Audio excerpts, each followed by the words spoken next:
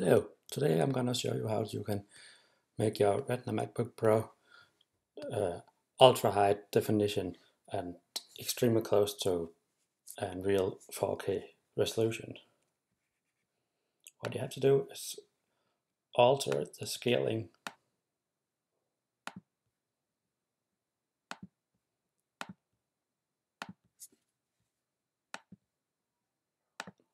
and now as you can see here the real solution is actually very close to a 4K resolution. That's actually how it's done. Thank you for watching.